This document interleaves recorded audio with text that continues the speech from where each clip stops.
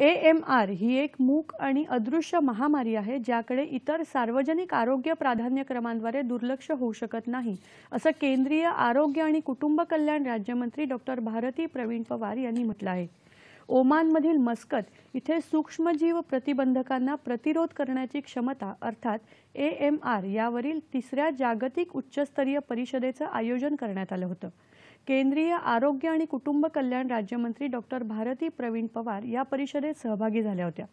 A M आरचा सामना करण्यासाठी भारतानं केलेल्या उपाययोजनांवर लक्ष केंद्रित करत ए एम आरचा प्रतिकार करणं हा राष्ट्रीय आरोग्यविषयक कार्यक्रमाचा मुख्य उद्देश आहे असं सांगत ए एम आर ही एक मूक आणि अदृश्य महामारी आहे ज्याकडे इतर सार्वजनिक आरोग्य प्राधान्यक्रमांद्वारे दुर्लक्ष होऊ शकत नाही असं भारती पवार म्हणाल्या.